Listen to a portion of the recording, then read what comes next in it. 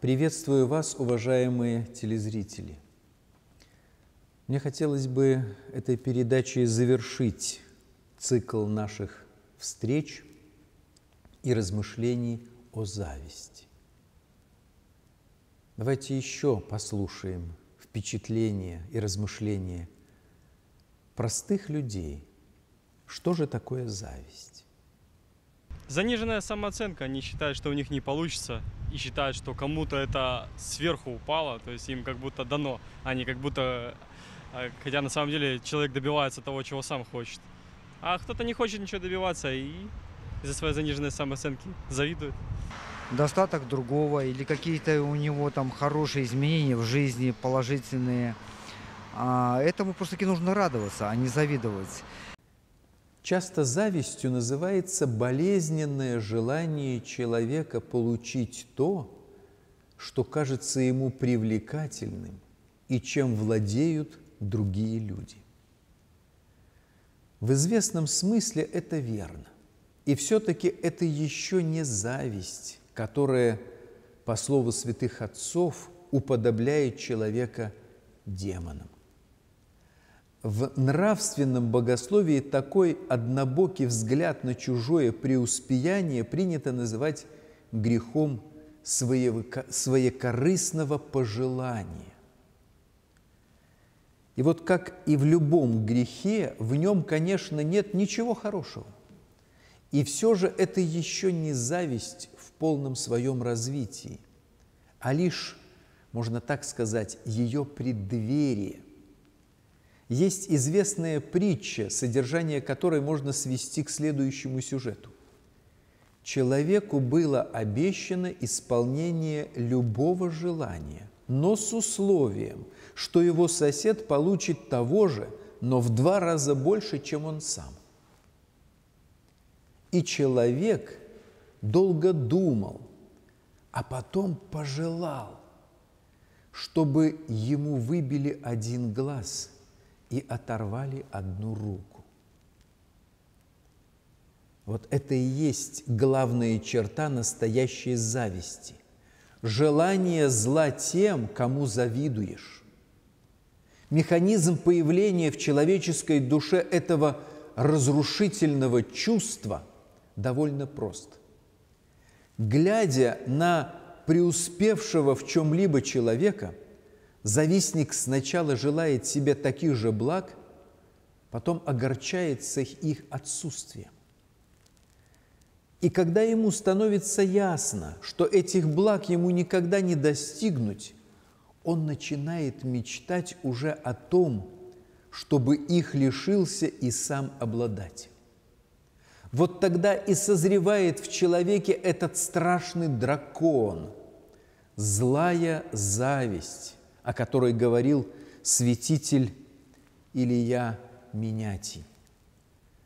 Зависть есть печаль из-за благополучия ближнего, который ищет не добра для себя, а зла для ближнего. Завистливый хотел бы видеть славного бесчестным, богатого убогим, счастливого несчастным. Вот цель зависти – видеть, как завидуемый из счастья впадает в бедствие. И вы знаете, вот такое расположение человеческого сердца становится лишь стартовой площадкой для заказных убийств. В него уходят корнями кражи и угоны автомобилей – умышленные поджоги и порча чужого имущества. А кроме этого, бесчисленное множество больших и мелких пакостей, которые люди творят только ради того, чтобы другому человеку стало плохо или хотя бы перестало быть хорошо.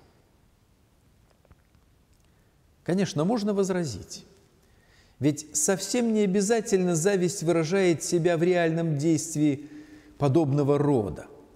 Человек может просто завидовать по-тихому, в душе, и никому при этом не вредить. Как часто приходится слышать, завидуем, но белой завистью.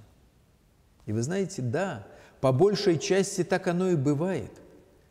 Каждый из нас кому-то завидует, но далеко не каждый при этом делает другим гадости или совершает преступление. Вот, однако и преступники не сразу стали способными на кражи и убийства. Они ведь тоже начинали с вполне безобидных, как им казалось, мальчишеских фантазий о том, что хорошо бы иметь такие кроссовки, такую куртку или такой мобильник, как вон у того пацана.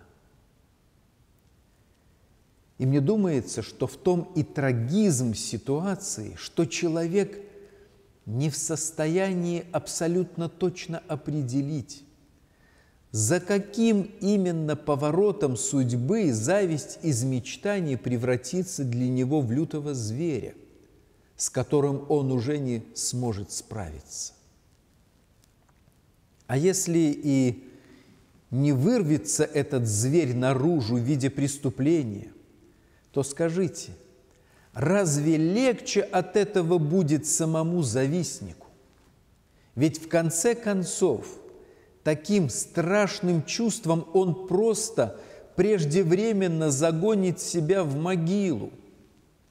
Но даже и смерть не прекратит его страданий, потому что после смерти зависть будет терзать его душу с еще большей силой, но уже без малейшей надежды на ее утоление. Но как же бороться с этим страшным недугом нашей души? Как же бороться с завистью? Вы знаете, ответ не так трудно найти, если помнить, что суть любого греха в отпадении от Бога. И зависть в основе своей имеет очень верное и адекватное ощущение утраты связи человека с его Создателем.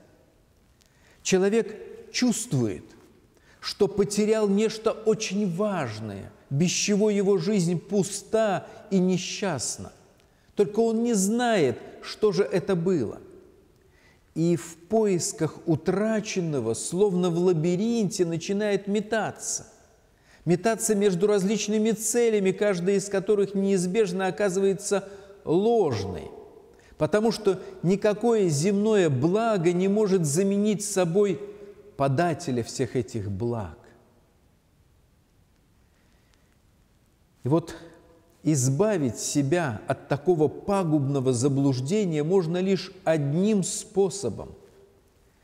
И святитель Василий Великий пишет, мы можем избежать зависти, если из человеческого не будем почитать величайшим и чрезвычайным не того, что люди называют богатством, не увядающей славы, не телесного здоровья, но будем стремиться к приобретению благ вечных и истинных.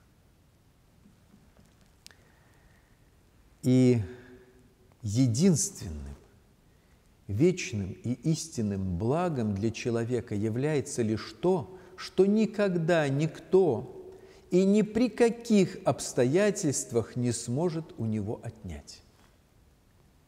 И таким благом может стать лишь наше общение с Богом, то есть соединение человеческого духа с Духом Божьим во взаимной любви – которая не прекратится даже после нашей физической смерти. И вот вы знаете, если искать именно этого блага, если стремиться к нему, стараясь выстраивать свою жизнь по Евангелию, тогда и завидовать никому уже не придется. Ведь все евангельские заповеди в сущности направляют человека к единственной цели – сделать главным содержанием его жизни любовь к Богу и другим людям. Завидовать же можно лишь тем, кого не любишь, к кому испытываешь пусть легкую, но все же неприязнь. А там, где есть любовь, или хотя бы стремление к ней, зависти уже нет места. Так, например, мать не может завидовать своему ребенку просто потому, что любит его, радуется его радостям и любой его успех воспринимает как свою собственную победу. Вот и будем стремиться к этому чувству, к этому состоянию, к этой любви к Богу и к людям.